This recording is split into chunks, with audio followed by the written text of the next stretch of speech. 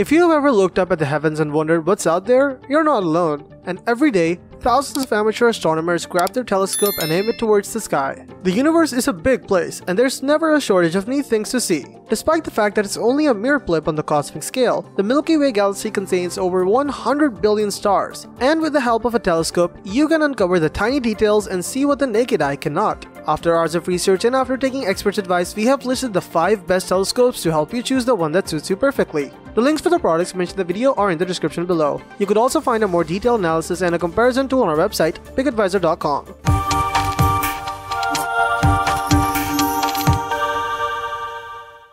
Let's get right into our top picks.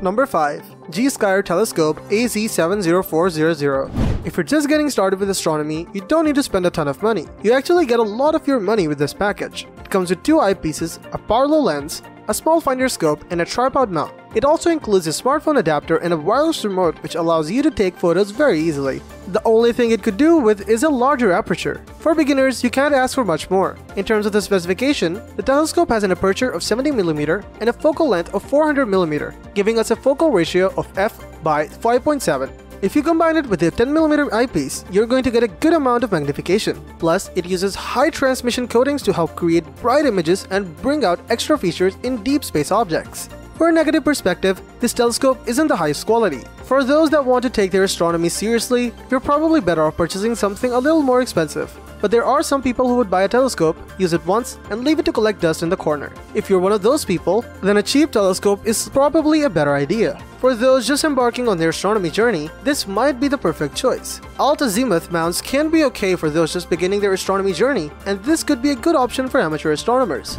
Number 4. Celestron NexStar 130 SLT The Celestron NexStar is the best computerized telescope for beginners. Just give yourself time to learn the ins and outs before trying to locate your own comet. The controls are more user-friendly than the other go-to mounts, and the Celestron's own sky setup is as easy as aiming at any three bright points in the sky. You'll get clear, bright views of objects even at high magnification. The included eyepieces are adequate and upgrades are available if you want to dig deeper into the cosmos. The 130 SLT includes two 1.25 inches Kellner eyepieces, a 25mm for 26 times magnification, and a 10mm for 65 times. These are enough to get you started, but you'll want additional eyepieces for more magnification options, particularly for viewing fine detail on the moon and planets or splitting double stars. For aligning the mount to the sky, the 130 SLT includes Celestron's standard Starpoint red dot sight, which is all you really need. The NexStar 130 SLT can show a fair amount of detail of the moon and planets, provided it's collimated, though the 65 times that a stock 10mm eyepiece can provide isn't exactly going to be jaw-dropping. With a more powerful eyepiece, you'll have no trouble spotting the cloud belts on Jupiter, the Cassini division in Saturn's rings, and albedo features on Mars. If you're looking for your first go-to telescope, this is an affordable place to start.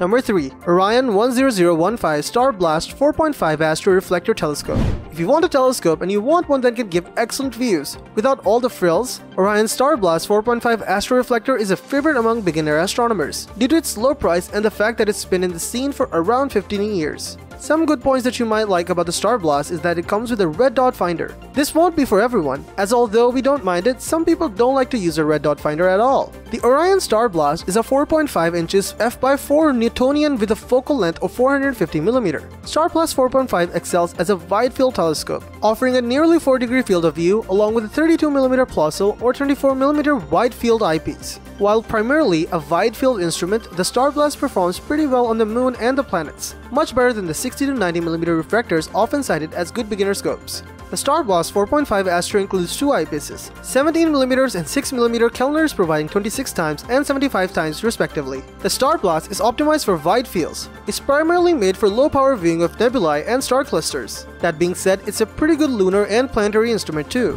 Number 2. Skywatcher Classic 200p The Skywatcher Classic is a Dobsonian telescope, meaning it's a big cannon-shaped beast. Don't let the size scare you off. Dobsonian telescopes are perfect for your first astronomical instrument. Once out of the box, you'll be stargazing in a matter of minutes. The large optical tube allows for a wide aperture and mirror, which means this telescope can soak up a lot of light. That's good for trying to see clear images of planets and the moon. It's not ideal for astrophotography, but if you want to quickly set up a telescope and see something impressive, this basic Dobsonian is the perfect telescope for beginners and a good advancement. Like most Dobs, this one has a focal length of 1200mm, giving it a focal ratio of f by 7.9. It provides easy to use quality viewing for the moon and brighter planets in our solar system and with its 8 inches aperture, you'll be able to see a decent amount of star clusters and brighter deep sky objects like Andromeda Galaxy. With any Dob telescope, the payoff is always light gathering power against control. This is a point and shoot scope. There's no fancy equatorial mount and no prospect of tracking celestial objects with a motor or using telescope for astrophotography.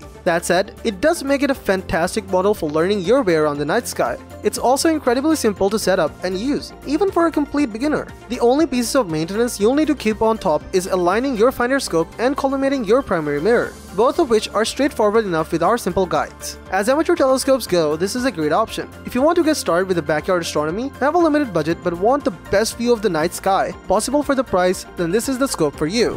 Number 1. Celestron NexStar 6SE Celestron NexStar range of catadioptric telescopes is perhaps the most popular on the planet, and the Celestron NexStar 6SE is the best-selling of all the SE computerized telescopes. The NexStar 8SE would have taken the best telescope spot in our personal category if it were not for Celestron's superior, bigger, and more expensive CPC 1100. The 6SE certainly deserves top spot in our list, even given its almost $900 price tag. First off, 6 inches is not a small aperture and, mounted on a single fork arm with some clever electronics, it will help you see far more than you're likely to achieve with a reflector of the same size. The telescope body is mounted on a single arm, motor-driven alt-azimuth mount with a computerized hand control containing a database of 40,000 night sky objects. Select any of them with a handheld, integral controller and motorized tracking will center it your eyepiece and keep it there as it moves across the sky. But the 6SE is subject to the same limitations as every other 6-inch telescope. It can only see celestial bodies to a certain magnitude, so be prepared to discover that not all 40,000 objects on the database are actually viewable with this telescope,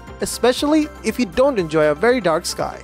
A major selling point for this telescope is the optical system, and it allows you to get bright, crisp images of distant objects. Generally speaking, there are two types of astronomers that buy into the SE range. The first live under the light-polluted skies and struggle to locate faint objects in the sky because the viewing is poor. The motorized telescope gets around that problem by pointing directly at the celestial objects you select from the database. The second group of astronomers that love the SE compound telescopes range are those who would much sooner spend their time outside in the dark looking at objects rather than finding them. Computerized telescope like the 6SE do the hunting for you, and the Sky Tour function will pull out recommended features for that evening's viewing. As with any alt-az mounted telescope, the NexStar 6SE is not a great choice for astrophotography, although it is possible, and like all the Celestron guided scopes, you'll need to invest in additional power because of its short battery life. If you want to skip the difficulties of learning your way around the night sky viewing in favor of seeing some stunning sights within and beyond the solar system, then the 6SE is a great choice.